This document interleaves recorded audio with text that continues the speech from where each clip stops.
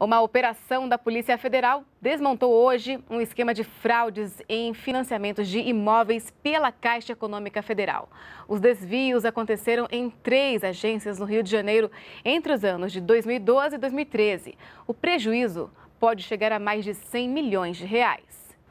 Entre os envolvidos na ação estão empresas de fachada, correspondentes bancários e funcionários da Caixa Econômica.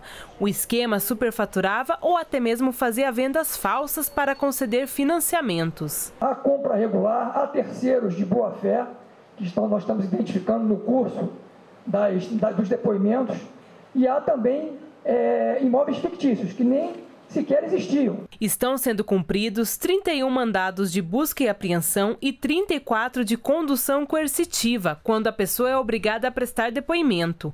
O operador principal do esquema foi preso e também foram apreendidos 20 veículos e bloqueadas várias contas bancárias. Dez funcionários da Caixa Econômica Federal foram afastados, sendo que quatro já estão demitidos. A Caixa Econômica vem atuando em parceria com a Polícia Federal para a identificação dos culpados.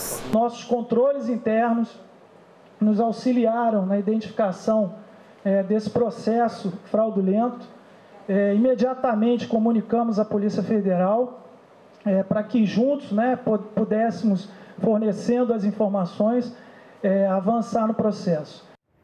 34 pessoas estão sendo investigadas. Os acusados poderão responder por crimes de falsificação de documentos públicos, peculato, estelionato, corrupção passiva, associação criminosa e lavagem de dinheiro.